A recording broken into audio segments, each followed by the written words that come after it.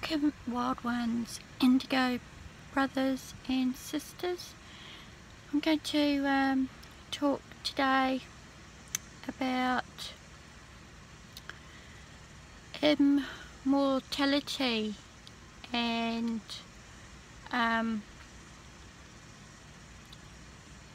blood magic, the blood magic, blood over intent community and how there's a belief that if they um, do this blood magic that um, if they go to the centre dish to some mythical probably fictitious place called the Holy Grail they will get eternal immortal life. Um, I'm just going to uh, tell you my perspective on that. Um, and that is you already have eternal immortal life. You already are immortal. You don't have to number one you don't have to do blood magic to become immortal and you don't have to do a trip to the North Pole to find some holy grail to become immortal.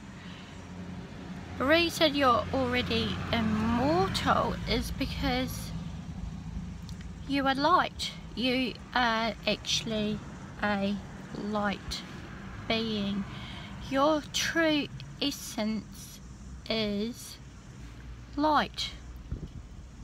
So, um, it's hard to explain to people that have never had a crown chakra burst, but I think a lot of people who have had a near-death experience know what I'm saying. They'll understand what I'm saying here. They can relate to it because they've seen the light. Um, when when when you have a near-death experience and when you die you you will go through the light you will see the light uh, and you will probably go through a stargate because you are light. And when you uh, reach enlightenment meaning high states of consciousness some people take that ayahuasca herb um, other people take DMT, other people just go on fast and um, purify their body to a, a, point where it's so pure that they can see the light. The light will switch on in the head. Um, that's what happened to me on a water fast and um, fruit and green juice fast and urotherapy. Um, I saw, I witnessed the light. I've already seen my own light. This is why I know this is true. And reincarnation also is true. Um, it's not someone's imagination. This is ancient knowledge that has been passed down through the ages.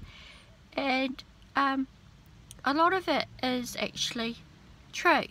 Um, and when you have those experiences, you will see that it's true. So,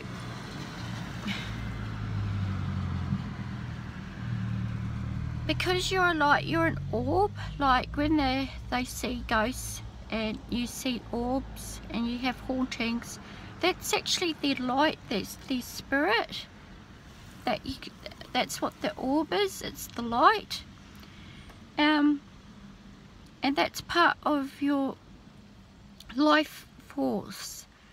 Our bodies are just vehicles for the soul which is the light. So your light will just be passed into another source. So you could come back as another person if you died as an old man, your light could then pass on to a a child. You you be born again in as a child a newborn baby within minutes of dying. This is possible and there have been many documented facts and testimonies about children who have memories of past lives that a child of that age couldn't possibly know. So where are they getting it from? That's why it's important in this life to respect all life because we are all one and you don't know what you're going to come back as to be quite honest you could be, come back as a bird, you could come back as a bee, you could come back as a worm, you could come back as the grass. So, this is where, like, Buddha and the monks had it right. They understood this and that's why they had the utmost respect for all life. And they understood that we are all one. You are me, I am you and so your your enemy is your dark side. If you if you can relate to that. Now it's hard to understand that everything is positive and dark light and dark. So you have to kind of embrace the good with the bad, but live life with respect, as much respect as you can have. Um, it's really important because if what I'm saying is true, it will affect uh, your next life and the life after that. So that's why uh, people um, might go vegetarian or vegan when they have a spiritual awakening because they understand that all life is precious and uh, we have to respect everything in this life as much as we can. Obviously we're not perfect.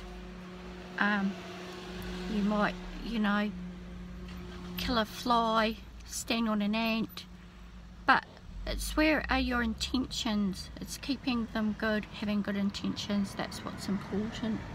So I hope that kind of helps enlighten you and don't take my word for anything, do your own research, come to your own conclusions, but that is just my perspective on this and this is what I've learnt from my spiritual awakening and experiences. This is the conclusion I've come to. And yeah so I look at like all animals now like they're my friends. Because I see I can see their souls. So that makes it even harder for me to even be a part of wanting to uh, kill them and eat them actually. Um, but when you when you open up your pineal gland this is what will happen.